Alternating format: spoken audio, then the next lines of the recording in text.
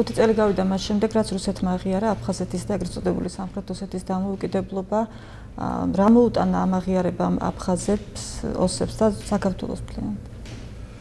ну საქართველოს უფრო მძიმე შედეგი მოუტანა 8 აგვისტომ ვიდრე 26 აგვისტომ 26 აგვისტო უფრო არის თქვათ ასე რუსეთის უდიდეს შეცდომა თავისაც თავის სახელმწიფოს ინტერესებიდან გამომდინარე აღიარა რა მან აფხაზეთის სამხრეთ ოსეთის დამოუკიდებლობა პრაქტიკულად დაკარგა ყოველგვარი გავლენები კავკასიაზე იმის მაგი მას აშკარად რუსეთ როგორ წესი არაერთხელ და ორჯერ აფტკიცებს რომ საკმაოდ მცდარნაბიჯებს გავს ეს მთელი მისი პრობლემა რუსეთს არის ხოლმე ძალას დაყლობილი ძალოფლება ქონდა ყოველთვის და როგორც კი პოლიტიკურ განწყობილებას ღებულობდა ძალისგან დამოუკიდებლად ყოველთვის შესრულებს უშვებდა.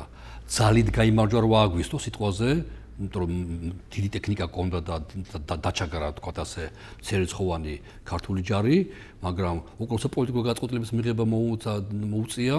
საკმაოდ მცდარნაბიჯი განწყობილება მიიღო.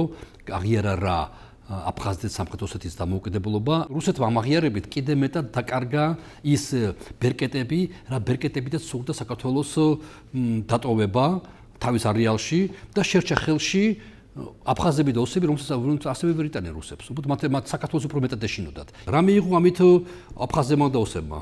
უფრო მეტი დამოუკიდებულება რუსეთზე. მე საკმაოდ კარგი ურთიერთობები გამოჩნია აფხაზ-ოსურ საზოგადოებებთან და ვიდრე მინისტრი გავხდებოდი მანამდე უფრო ჭიდო კონტაქტები მქონდა ეხლა სხვა კონტაქტები მაგ უფრო ჭიდო კონტაქტები მანამდე მქონდა და ერთად ძალიან მაღალმა ჩინოსანმა აფხაზ რომელიც არის შედის პირველ ხუთეულში მართვის მურთ ხუთეულში აფხაზეთში. პირდაპირად მითხრა რომ ადრე მქონდაო მეტი დამოუკიდებლობა ადრე არ მქონდა აღიარება და მქონდა დამოუკიდებლობაო ეხლა გვაქვს აღიარება და აღარ გვაქვს დამოუკიდებლობა ანუ ძალიან კაფეო ფორმულაა რუსული ფული რუსული სამართალი რუსული ენა რუსული კულტურა ყველაფერი რუსული. არის არმიაზე აღავლაპარაკობდა ჯარებზე და უსაფრთხოებაზე ასე შემდეგ. ეს არის ის რაც ეს არის ის ფასი რაც მათ გადაიხადეს რუსეთის აღიარ რუსეთის მიერ მათ აღიარებაში. რა თქმა უნდა ეს არის კატასტროფული შედეგი მათთვის, იმიტომ რომ მოხდა სრული მათი დამოუკიდებლობა, დამოუკიდებულება რუსეთზე. თუ ყოველ გამოვრიცხავთ აბსოლუტურად ყოველგვარ შანსს კონდეთ არჩევანი აფხაზებს და ოსებს სიკვდილსა და სიცოცხლეს შორის. მაგრამ ჩვენ ყოველდღე დაუტოვებთ მათ შანსს ქონდეთ არჩევანი განვითარებულ საქართველოს შორისა და იმ დროინდელ რუსეთს შორის. და ეს ყოველთვის შანსი იქნება საქართველოს სასარგებლოდ და ამას არ ჭირდება ძალიან ბევრი დრო, მაგრამ ამას ჭირდება გას გარკვეული დრო. და ეს რაღაც გარკვეული დრო არის 7-8 წელიწადს ყველა მეთოდოდა მოვითმინოთ. 7-8 წელი დაბრუნების თუ არეგულირების დაწყება. მოდი 7-8 წელი ჭირდება რათა არსებითად ყველა ვნახოთ რომ პროცესები სწორად მიდის. შეიძლება 4 წელიწადში მოხდეს ეს. მაგრამ მე მისქობდი ჩვენ თელ ტრაგედია ჩვენ ისა რომ ჩვენ დროში მინდა თქვენს ახლა დროში გინდა გამოსაზღვრო განსაზღვრდა თავი დრო არ არის. თავი არის ნაბიჯების გადადგმა. ყოველი ნაბიჯი მოიტოს რაღაც შედეგს. ამიტომ როგორც კი ერთ-ერთი თავი დღეს პრობლემა ჩვენი არის მოსპოთ ეს სამართა სამარცხვინო და ამორალური კოჰაბიტაცია რაც საკაშულმა დაგვიდგინა თავისი არა არა თანამშრომლობის ფორმაში ხო? ვეტოების სახით ხელმის არ მოწერის სახით უამრავ რაღაც საკაცების სახით ხო? და ამავე ეს ერთი და მეორე ამასობაში მოდის ოლიმპიადა. ანუ ეს ორი ფაქტორი სააკაშვილის ფაქტორი და ოლიმპიადის ფაქტორი თქო უნდა აჩერებს პროცესებს. როგორც ეს ორი ფაქტორი წავა და სულ მალე მოხდება ხო? ოქტომბერში სააკაშვილი წავა და თებერვალში ოლიმპიადა დასრულდება. ბატონო პატა ხუთი წლის წინანდელ მოვლენებზე კითხავთ ისევ? იყო თუ არა შესაძლებელი ეს პროცესები თავიდან აეცილებინა მაშინდელ მთავრობას ცალსახად. ესა თავარი კითხვა, რაც აღიელებს სააკაშვილს. ამიტომ ყოველთვის კითხვა საუბარი გადაყავს მინდა ეწყო ომი, რაც არავის არ აზარდებს. ომის დაწყება ყველაზე ბოლო ბოლო თქვათ ასე წერტილია იმ მანკიერი პოლიტიკისა, რასაც ომამდე ომის დაწყებამდე მიყავართ. ამიტომ ვინ გაისროს უკვე მნიშვნელობა არ აქვს, თუ ორივე მხარე ამას ეძებს. ფაქტია, რომ ამის თავიდანაცილება შეიძლება და ეს უკვე 2006 წლიდან მოყოლებული. როცა მანქანა აღმოჩნდება ოფსკულში გადავარდნილი, გამოძიებელი გამოძებას იწყებს გზიდან როგორ გადაუხვია მანქანა, ხო? ანუ ჩვენ სამშვიდობო სამშვიდობო გქონდა პროცესი 2006 წლამდე. 2006 წლის ივლისში საკავშირო ჯარები შეიყვანა კოდორში. და ამით გაყინა, გააჩერა ქართულ-აფხაზური კონტაქტები. იმავე ნოემბერში საკავშირო შექმნა აფხაზის სამხრეთ ოსეთის დროებითი ადმინისტრაცია. მიიღო მონაწილეობა კოკოიტის მიერ დანიშნულ არჩევნებში. გახსოვთ ალბათ და ხა სანაკოვი აფშიოში არა პირველი ცხოვრება სხვა სანაკოვი ყოფილიყო დიმიტრი სანაკოვი იყო და პატრიკ პავლეკი და მიშელ ბარაკამას. მაგრამ ფაქტია რომ ამით მან გაყინა გააჩერა ქართულ ოსურ ურთიერთობები. უკვე იქედან უნდა ვკითხოთ სააკაშვილს. რატო გააკეთე ეს? რა შედეგები მოგიტანა? შედეგი მოგიტანა ის, რომ ვაკონტროლებთ კოდოზე დღეს აღარ ვაკონტროლებთ, ვაკონტროლებთ ახალ გოლზე დღეს აღარ ვაკონტროლებთ. ამას ძალიან მნიშვნელობა აქვს. აქედან მოყოლებული უამრავი კითხვები მოდის. აი როგორ უნდა ეცლებია თავი დაუშვით, აი რა უნდა გააკეთო? არ უნდა ეჯერებინა რუსეთისათვის, რომ ცხილოს უთმობდა. ფრთხილი უნდა ყოფილიყო. უნდა ყოფილიყო რუსეთი და პრაგმატული, როგორც ჩვენ ვართ დღეს და არა ესეთი ყურებამდე შეყვარებული. და ყველაფერს უთმობდა, რომ მიდიოდა და პუტინი ჩემი მეგობარია, ამბობდა და პუტინის თვალებში ჩავხედე და იქ დავინახე რაღაც ნდობა და რაღაც რაღაცებს, იმეორებდა ბუშის სიტყვებს. ანუ ძალიან გადამეტებული ნდობა ქონდა რუსეთს მიმართ და ჯეროდა რომ რუსეთი მას რა თქმა უნდა ცხილვალს უთმობდა. ეს იყო ანუ არ უნდა ეთამაშა რუსული სცენარით. ეს იყო თქმა უნდა ცალსახა რუსეთი კარგავდა აფხაზეთს სამხედროსაც ხედავდა საქართველოს წინ მიდიოდა აშკარად იგზნობოდა ნატოსკა ნატოსკენ მიდიოდა სააკაშვილიც ამას არ უარყოფდა და ამ ამ ამ გზას დაადგა. ამიტომ რუსეთს ამის ეშინოდა ამიტომ გამოიჭირა სააკაშვილის სისუსტეები. სისუსტე რა იყო მას სწრაფად უნდა და საქმეებს კეთება.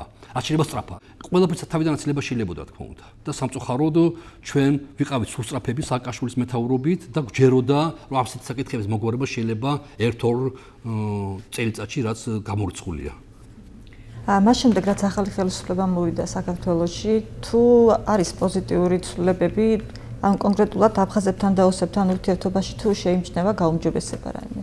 ცალსახად, შეიძლება თავმოდ გითხრათ, რომ პრაქტიკულად მოიწვა აგრესიული რიტორიკა ჩვენი მხრიდან პირველ რიგში. და მათი დამოკიდებულება როგორია? ხო და შესაბამისად მაგის თქმა მინდა ჩვენი მხრიდან მოიწვა აგრესიული აგრესიული რიტორიკა, ისინი აღარ პასუხობენ. ისინი ყოს მოპასუხებ ხარ მოპასუხედ იყვნენ, ხო რაღაცა საკაშვილი თყუდა სიტყვაზე, რომ არიან კანიბალები უთქვი არაერთხელ სიტყვაზე, ან და რასისტული განცხადებას გაუკეთებია, მონღოლოიდური ნახშანი ქვია, მონღოლოიდური ასე შთაომავლები უთქვია, ხო, აფხაზებზე. ანუ სულ შეურაცხყოფაზე გადადიოდა და რა თქმა უნდა, იქიდან ღებულობდით შესაბამის პასუხს.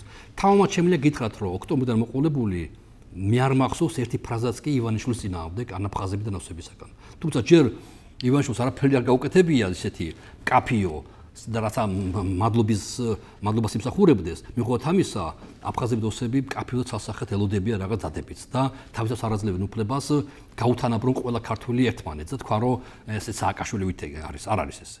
და რუსეთთან დაკავშირებით მინდა გითხოთ, აი რუსეთის ხელისუფლება დღესაც აცხადებს, რომ აფხაზეთთან და სამხრეთოსთან დაკავშირებით პოზიციების შეცვლას არ აპირებს. აი ამ ფონზე როგორ აპირებს საქართველოს მთავრობა რუსეთთან ურთიერთობის ნორმალიზებას? არ უნდა შეგვეშინდეს განცხადებების. განცხადება ჩვენ შეგვიძლია გავაკეთოთ. ჩვენს თქვით, რომ არ ჩვენ ავაპირებთ პოზიციების შესულას, ხო? ანუ რუსეთი ამიტომ უნდა თუ ხარ პოლიტიკოსი, თუ ხარ პროფესიონალი, კარგად უნდა დაალოგონ ვინ რას კარგავს ამით. ისე რომ რუსები არაპირებენ პოზიციების შეცვლას, ამით რას ახდენენ? საქართველოს მეტად დისტანცირებას. თავის ჩვენ ხო არ ვობთ, ჰა, კარგი, რაგი რუსეთი პოზიციებს არ იცვლის, აბა ჩვენ რა ვქნათ? ამ მოდი ჩვენ ახლა ვითანამშრომლოთ, არა? ჩვენ ვობთ, რომ არ ჩვენ არ ვიცით პოზიციებს.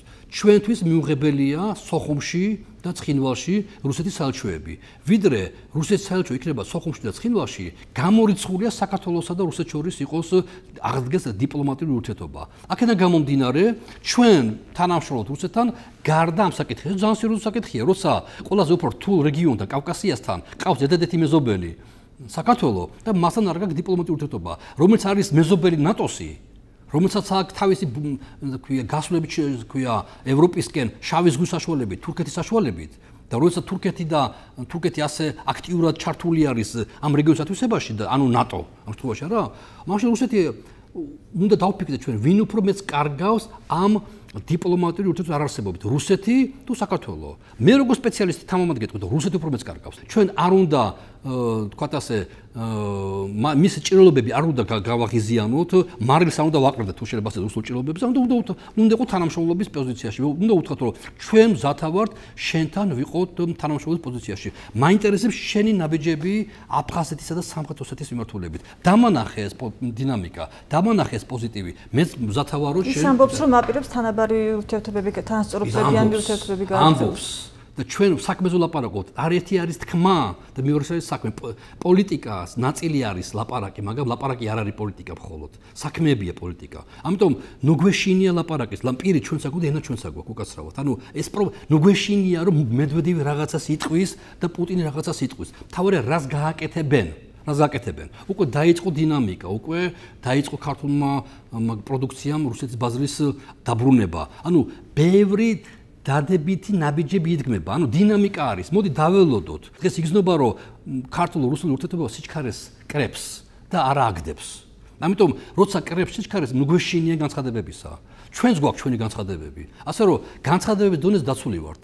ეგრეთ წოდებული სამხრეთ ოსეთის ეგრეთ წოდებულმა საგარეო საქმეთა მინისტრმა დავით სანაკოევმა განაცხადა, რომ რამდენიმე სახელმწიფოსთან მიმდინარეობს მოლაპარაკება აღიარებასთან დაკავშირებით, თუმცა ის აღნიშნა, რომ ქართული დიპლომატია ამაში ხელს უშლის.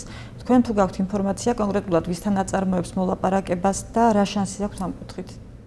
არა, ინფორმაციები არსებობს. რომ რომელიმე სახელმწიფოსთან მე არ დავასახელებ, იმიტომ ჯერ საგრო საკო სამისო პრეროგატივაა და მით უმეტეს რომ ჩვენ სახელმწიფოდან მუშაობთ, მაგრამ ფაქტია რომ საკაშულის დროს აფხაზეთის სამხრეთ ოსეთის დამოუკიდება აღიარა ექვსმა სახელმწიფომ. ჩვენ დროს უკვე ერთმა სახელმწიფომ უკვე წაიღო ეს აღიარება. და უკვე ხუთ სახელმწიფო დარჩა, ვინც აღიარა. ანუ დინამიკა ჩვენ სასაგებლოდ ახალი ხელისუფლება უფრო გონივრად მუშაობს. ამიტომ თავმოთ შემილია უთხრა იგივე ოსებს და აფხაზებს, რომ ჩვენ გამოვრიცხავთ ყოველგვარ ყოველგვარ პირობას, რომ შეიძლება ომი დაიწყოს და გამოვრიცხავთ მათ ფიზიკურ უსაფრთხოებას. მაგრამ ჩვენ ვიბრძოლებთ დიპლომატიურად ბოლომდე.